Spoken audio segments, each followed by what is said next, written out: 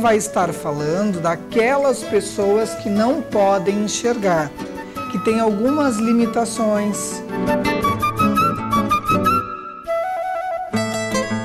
É a deficiência dos olhos.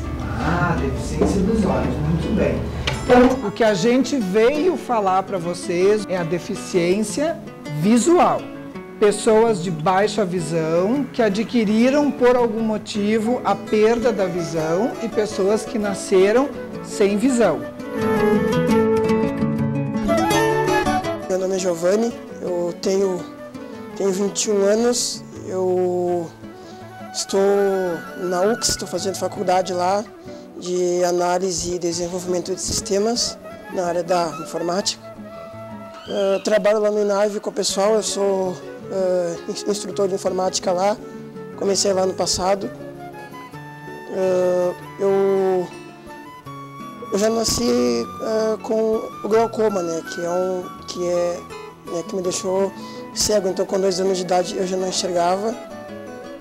frequentei a, a, a PADEV desde essa idade. Eu, lá eu aprendi o braille, fiz, fiz mobilidade, fiz várias atividades né, e hoje eu sou, eu saio sozinho, sou independente, consigo, uh, digamos assim, me virar, né.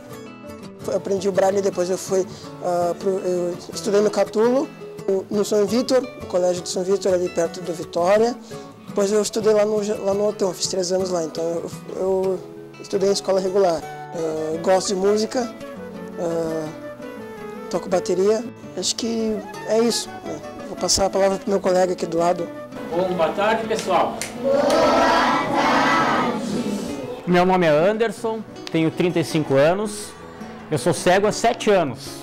Né? Eu fiquei cego porque eu era diabético. Então, devido a complicações do diabetes, né, eu tive descolamento de retina quando eu tinha 28 anos, acabei ficando cego. Para mim no começo foi um pouco difícil, né? Mas nada que a gente não queira, né? Eu quis melhorar, então logo que fiquei cego, procurei uma instituição, né, ao qual me reabilitou para a vida. Hoje eu faço faculdade, né, na UX eu faço uh, curso de serviço social, estou no segundo semestre, frequento INAVE, Instituto da Audiovisão, tanto eu como o Giovanni, né? O Giovanni é o meu instrutor de informática. Então eu faço aula de informática.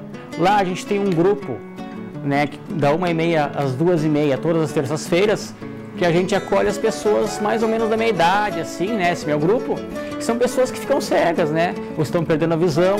Então as pessoas chegam tristes, né, às vezes com depressão.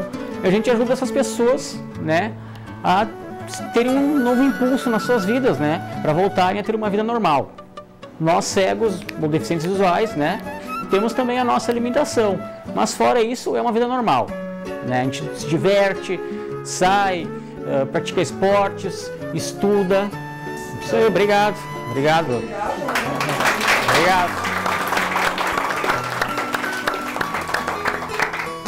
E eu só tenho a agradecer, né? Porque falando né, da, da, deficiência visual, né? Isso nos ajuda muito, né? A gente vai plantando uma sementinha junto com as crianças, né? Para que elas saibam ah, nos ajudar.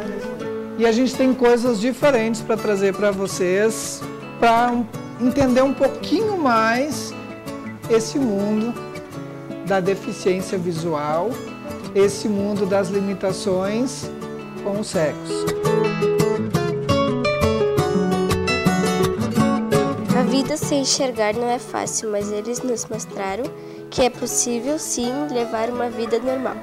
Que nunca pode fazer gozação e nem gracinhas. Foi muito bom saber como eles vivem e como ajudá-los.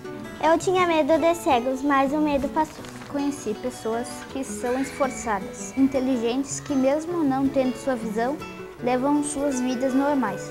Eu descobri que viver com pessoas diferentes é bom. Obrigado por me ensinar que devemos valorizar o que temos. E também a respeitar e ajudar se for preciso.